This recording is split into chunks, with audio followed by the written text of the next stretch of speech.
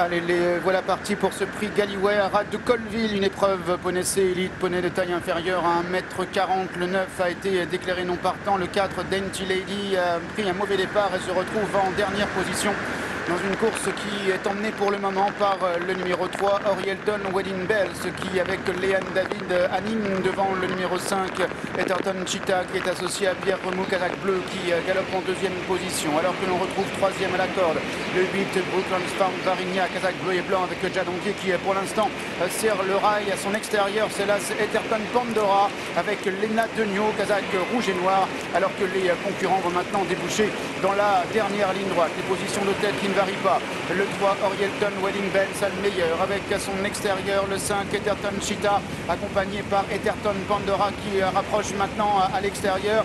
Et euh, c'est dans la tempête pratiquement, en tout cas sous une très grosse averse que les concurrents euh, sont désormais à 250 mètres du but avec une accélération du numéro 5, Etherton Cheetah avec Pierre Rémoux qui semble devoir partir ici vers le succès car il compte une très confortable avance, 5-6 longueurs désormais euh, sur Etherton Pandora. Etherton Cheetah qui était littéralement déclassé dans cette course et qui va triompher extrêmement nettement. Le numéro 5, Etherton Cheetah qui va triompher.